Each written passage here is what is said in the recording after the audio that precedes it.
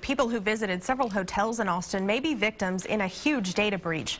White Lodging manages the Holiday Inn at the Arboretum, the Westin at the Domain, and the Marriott on I-35 south of Ben White.